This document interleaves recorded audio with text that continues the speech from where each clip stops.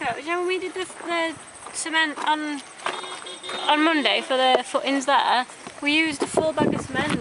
Yeah. With, do you think we don't use enough cement? Is there, there's like half a bag of full bag.